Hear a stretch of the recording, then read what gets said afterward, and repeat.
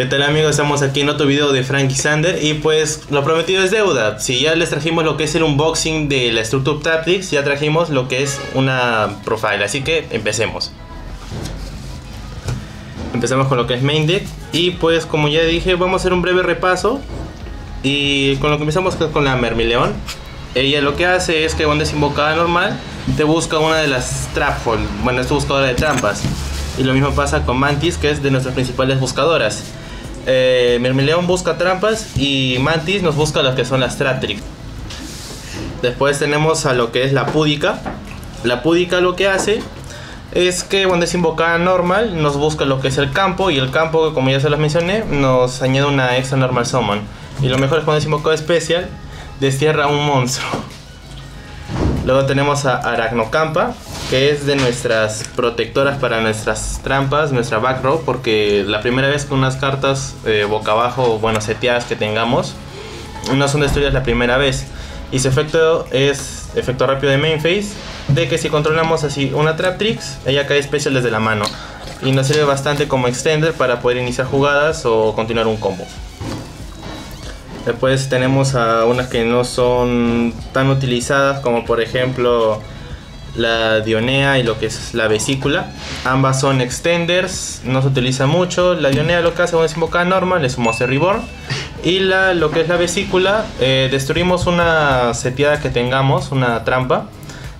La mandamos al cementerio y se invoca especial. Prácticamente es generar cuerpos en el campo. Después otro monstruo bastante importante en lo que viene a el deck y lo que acelera mucho las jugadas es el Parallel Exit lo que hace es que cuando invoquemos un Link, él cae especial desde la mano y luego invoca otros, otro para el exit a nivel 4 ambos. Y si no sirve para hacer rango 4 mucho más rápido. Después Triple Ash Blossom, que es lo más, eh, ¿cómo decirlo? Lo más, lo más, común en este formato. Bueno, eh, utilizamos solamente estas magias. Una protectora como viene a ser siendo lo que es el Call by the Grave el ritmo que mandamos al cementerio una magia, o bueno, un insecto planta nivel 4 desde nuestra mano al cementerio y robamos dos cartas. Y el jardín, como se lo mencioné, nos permite una normal summon extra.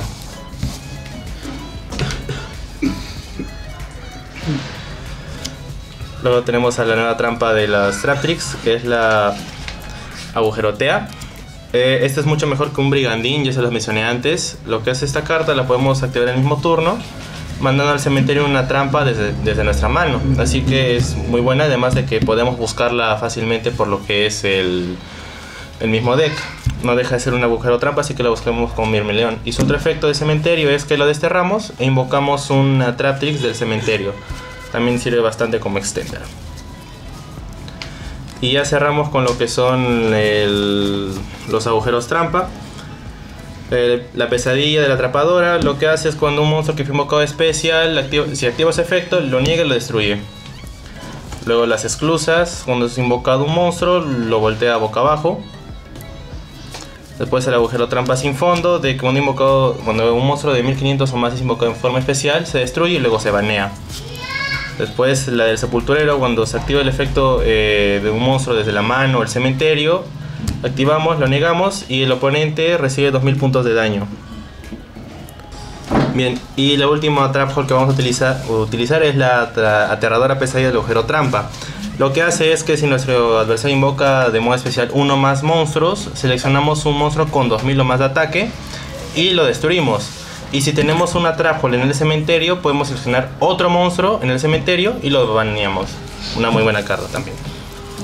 Después lo que viene haciendo Infinite Impermanence, esta carta se beneficia bastante con lo que es tener trampas normales en el cementerio y mucho más si son ese tipo de trampas. Infinite Impermanence ya saben lo que hacen, es una Baylor de alto presupuesto y pues cuando está colocada y la activas, eh, niega las magias y trampas eh, activadas en esa columna. Y las últimas cartas de main que vamos a utilizar son las 13 Melee Match.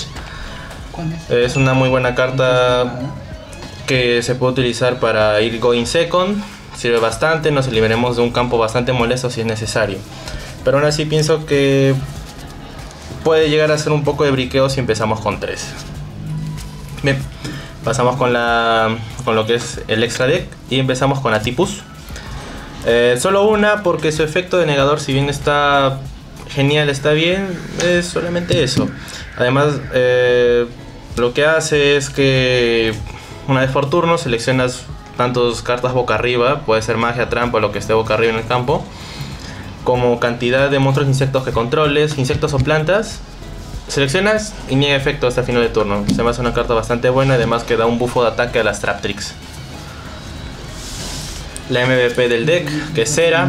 Cera acelera bastante. Si activamos una trampa, eh, bueno, una trampa normal, como ya les dije, utilizamos Heavenly Match, utilizamos lo que es esto, un Impermanence, puede también ser activado. Y lo que hace es que invoca modo especial un, lo que es una atrapadora.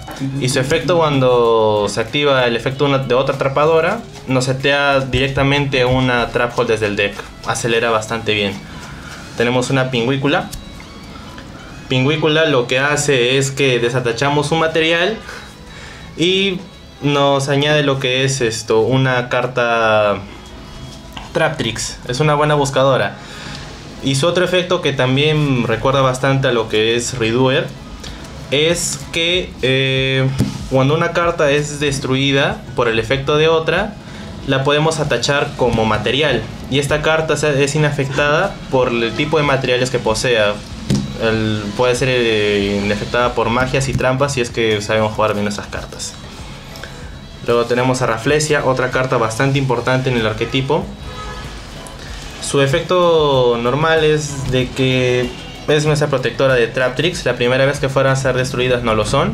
Es bastante bueno. Y la razón por la que jugamos lo que es el sepulturero y sin miedo a briquear es que por ejemplo, si ella es nuestra quinta mm, vocación y nos quieren activar un Nibiru, encadenamos efecto porque su efecto desatacha material y puedes activar el efecto de una Trap Hole de acuerdo a la situación. Se activa un, un Nibiru, activamos Sepulturero y se, niega y el oponente recibe 2000 de daño. Una carta bastante buena. Esta no la utilizamos tanto. Eh, más lo utilizaría como su papel de extender. Se, le quitamos dos materiales y revive una Traptrix. Es la principal razón por la que utilizaríamos más que todo simplemente por eso. Y empezamos con lo que son, por así decirlo, pesos pesados. Redoer, una muy buena carta en lo que es el control y sobre todo en un deck, un deck que está basado en el rango 4. Esta carta es un exi genérico y es bastante bueno, mm, porque en cada standby phase vamos a quitarle una carta en el tope del deck de nuestro adversario. Y de acuerdo a la carta que desatachemos, que es efecto rápido, puede cambiar. Si desatachamos un monstruo, se banea hasta la end phase. Si, si desatachamos una magia, robamos una carta. Y si desatachamos una trampa, seleccionamos una carta boca arriba en el campo y la devuelve al deck, al tope del deck. Así que es una carta bastante genial sobre todo en esta estrategia de control. Luego tenemos a Baguska. Ya todos lo conocen, todos saben lo que hace y solamente utilizamos su efecto de lo que es en posición de defensa porque los efectos cambian de acuerdo a su posición, pero sobre todo en defensa porque es donde lo queremos. Lo que hace es que los monstruos, eh, cuando él está en defensa, los monstruos que se invoquen caen en defensa y no pueden activar sus efectos. Y eso es algo bastante genial y que nos hará hacer mucho tiempo. Y cada standby phase va a desatachar un material. Ojo que este efecto de Floodgate solamente lo va a tener siempre y cuando tenga materiales. Y como va a desatachar un, material can de standby phase, solamente tenemos dos turnos para abusar de este. Y luego tenemos una de mis cartas que a mí me gusta bastante, que es el Exiton. Si bien su efecto es un poquito Mm, situacional, no deja de ser muy buena carta. Sus estadísticas son un poquito bajas, pero su efecto es lo que vale.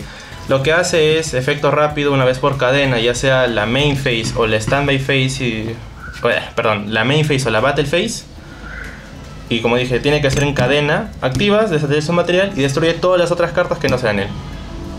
Tan simple como eso, muy muy buena carta. Después tenemos un combo que este deck ya lo popularizó bastante, que es el Springran. Eh, Merrymaker simplemente lo utilizamos porque, en fin, es un exit que, al que podemos escalar para llegar a, a Sargas. Lo genial de Sargas es que es un Zeus bastante ligero, por así decirlo.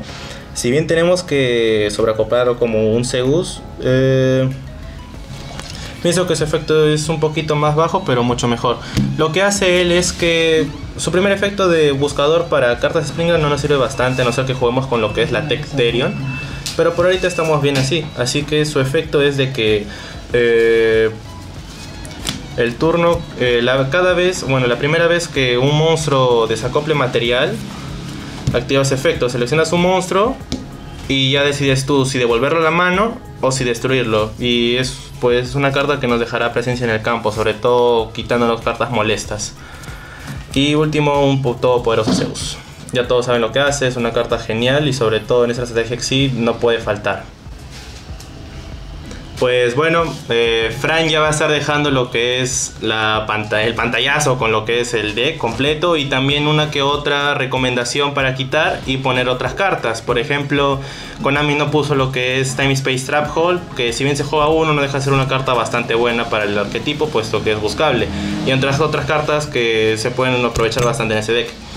Y ya, pues así ya sería todo conmigo y agradezco de nuevo a Frankie Sander. Así que ya conmigo será otra oportunidad. Hasta luego.